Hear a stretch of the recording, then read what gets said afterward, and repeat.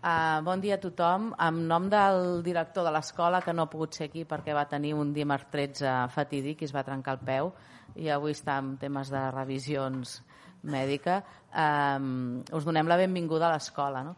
Estem realment contents perquè hem iniciat eh, des de la subdirecció de recerca doncs, aquest procés d'anar presentant tots els treballs de recerca que, que des de l'escola hem, hem anat subvencionant i avui presentem el treball de, de recerca de la, de la Gemma Gei sobre transparència i, i urbanisme.